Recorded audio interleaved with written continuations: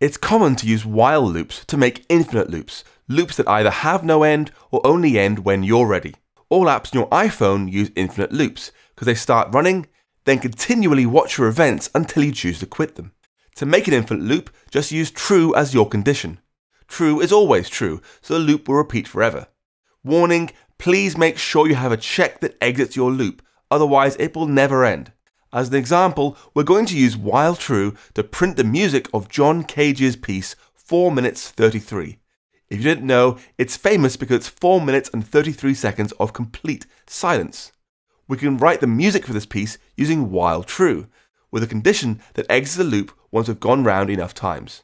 var counter equals 0, while true, print a space, counter plus equals 1, then if counter equals 273, break out of the loop, end the condition, and end the loop.